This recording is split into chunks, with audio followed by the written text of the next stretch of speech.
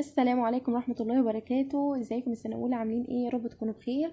آه معاكم إيمان سعيد من الفرقة التالتة إن شاء الله النهاردة هناخد مراجعة سريعة كده عن محاضرة ال properties of cardiac muscle وال action potential بقى والكلام الجامد ده. تمام؟ أعتقد إن أنتوا يعني لحد دلوقتي حفظتوه من ساعة ما كنت آه شرحوها. تمام؟ طب يلا إحنا هنأكد كده على الحاجات ال- المهمة بس والسريعة كده اللي ممكن تجيلكوا يعني في ال MCQ تمام؟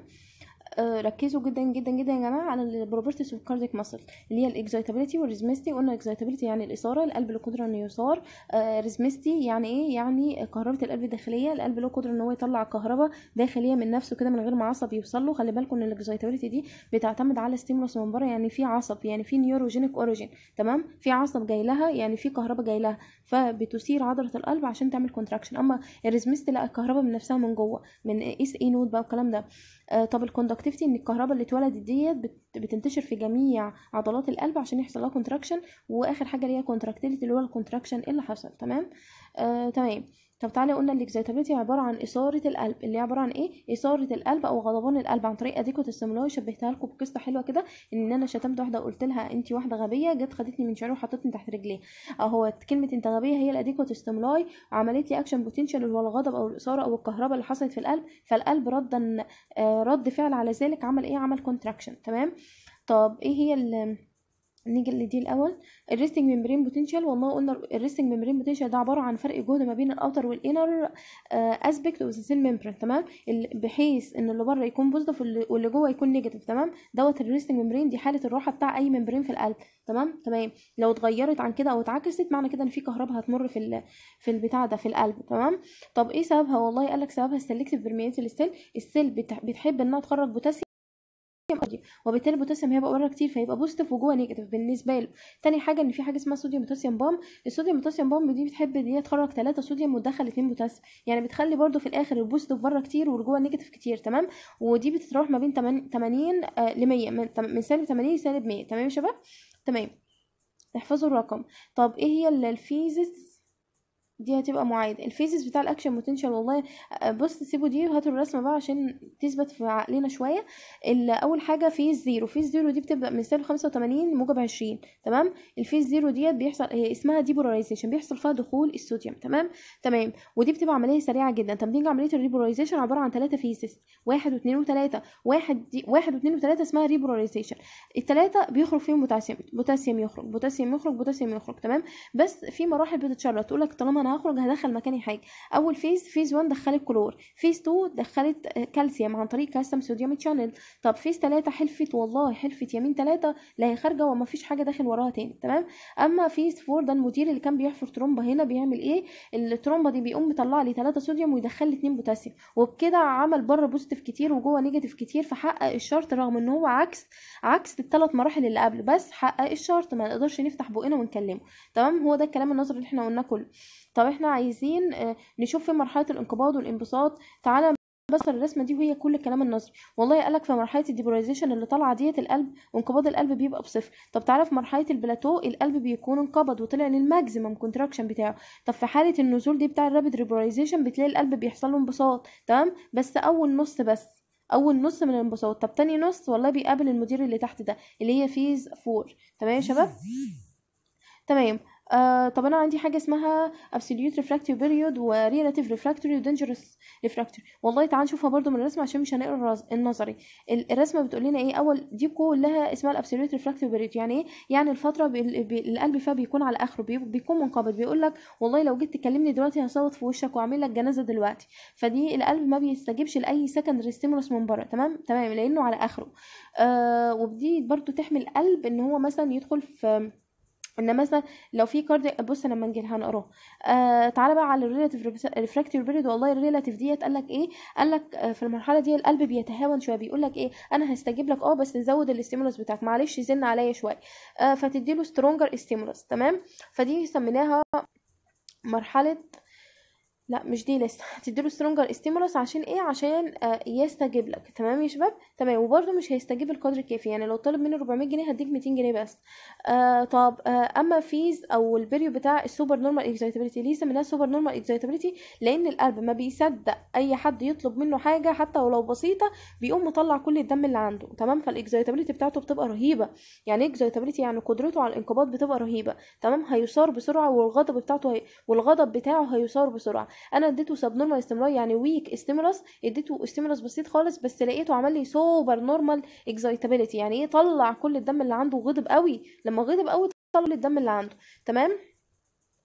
آه، تمام. قالك والله ال absolute refractory period ديت بتمنع لي القلب إن هو يخش لي في tetany. ليه؟ أنا قلت لك ال tetany ديت معناه إن القلب عمال ينقبض باستمرار. تمام. وطب طالما في absolute refractory period أصلا القلب لو هو منقبض مش هيستجيب لأي انقباضة خارجية تاني أو أي stimulus تاني. فده هتحميه من ال tetany. تمام؟ عشان كده القلب عمره ما بيدخل في tetany. تمام؟ إلا لما يكون في حالة disease ولا حاجة.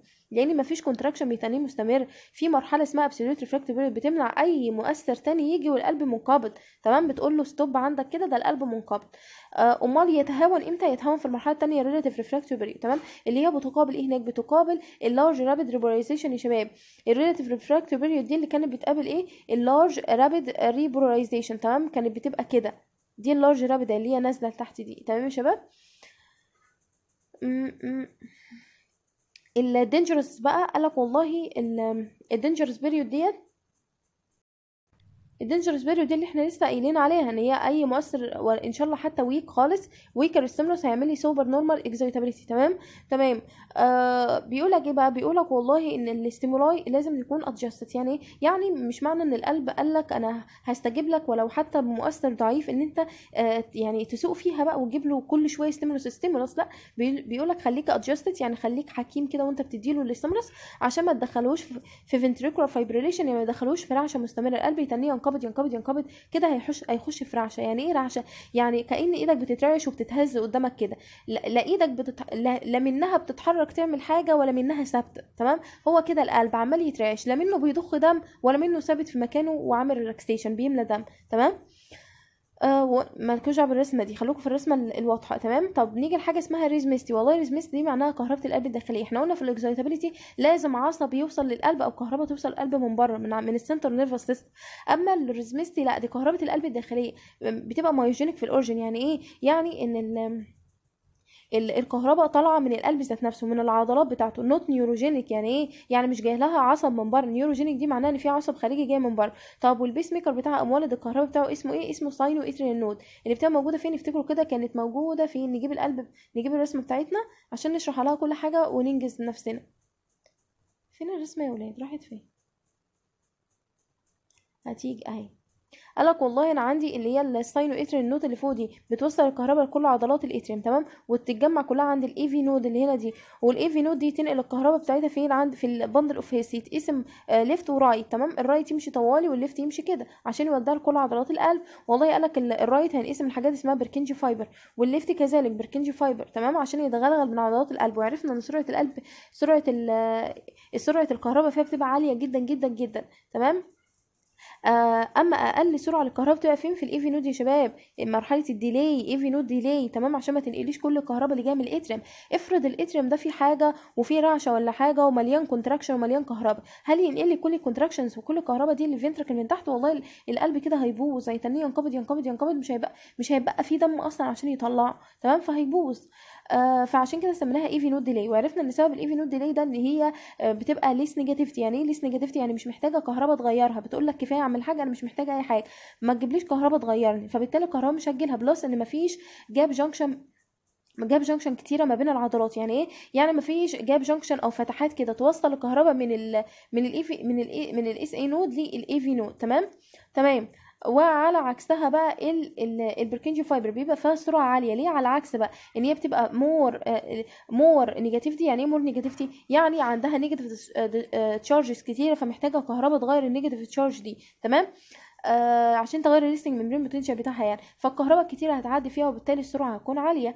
كمان بيبقى عندها gap junction كتيرة جدا. فال gap junction دي هتقوم معدية كهرباء كتيرة ما بين يعني عندها بيبان كتير. البيبان دي بتبقى مفتوحة. بتقوم معدية على طول كهرباء كتيرة. فالعضلات فالكهرباء توصل لجميع عضلات القلب آه، من خلال ال Purkinje fiber دي. فالسرعة فيها بتبقى هائلة سرعة فائقة. تمام يا شباب؟ آه، تمام.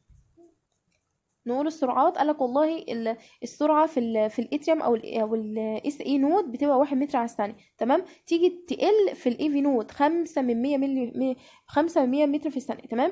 طب ال- اللي موجوده في ال AV bundle ال bundle اتنين اتنين متر في الثانية. ال Purkinje أعلى سرعة أربعة متر في الثانية. طب ال ventricles والله هتبقى كام؟ هتبقى نص. الكهرباء في ال ventricles هتبقى إيه؟ هتبقى نص.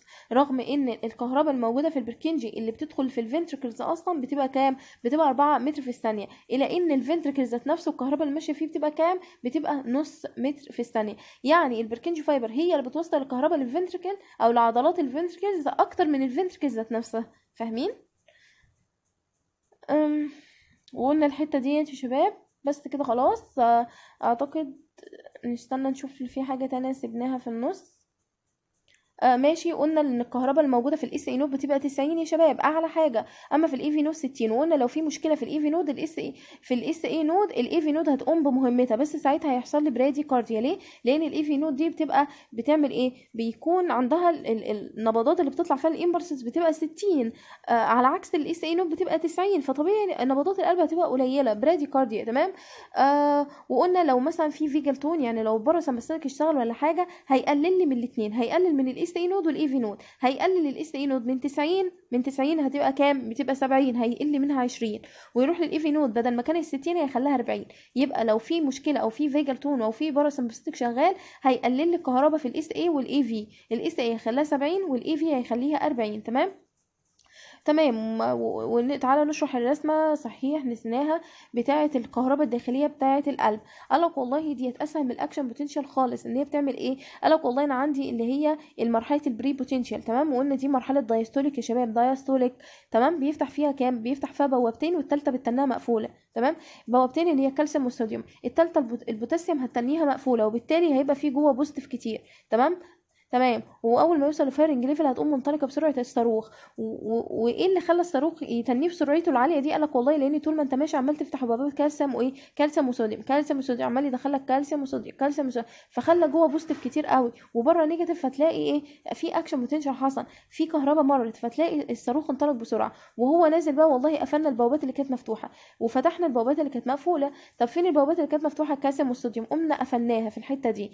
والبوابات اللي كانت مقفولة البوتاسيوم. قمنا قمنا فتحناه. فالبوتاسيوم قعد يخرج لي يخرج لي positive كتير بره بره بره وجوه negative تمام؟ فكده رجعنا ال membrane لحالته الأصلية. تمام يا شباب؟ هو دي كل الكلام اللي موجود. وركزوا يا شباب في حتة ال efflux وال influx تمام؟ ال efflux وال influx يا شباب يا شباب خلي بالكم efflux معناها خروج و influx معناها دخول. وقلنا أسرع حاجة أسرع آه، rhythm بيبقى موجود في ال SA node تمام؟ 90 دقة في الدقيقة. تمام يا شباب؟ آه وخلي بالكم ان إحنا قلنا في ان مفيش بلاتو في ال autonomic cells والله الرسمة كانت عبارة عن كده. أنتوا شفتوا بلاتو في الموضوع؟ والله ما شفت بلاتو. يبقى no plateau no plateau. خلي بالكم no plateau. وال resting membrane potential بيضم من سالب 55 لسالب 60 اما هناك كان من سالب 80 ل 100 آم، بس كده يا شباب وبالتوفيق جدا يا شباب.